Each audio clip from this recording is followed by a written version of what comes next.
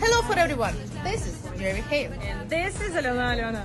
We're from Ukraine and we just arrived yesterday. And today in the morning we will have our first rehearsal. It's very nervous but very exciting. Right now going to the stage, we don't know what to expect, but we know that we're gonna surprise me. Yeah.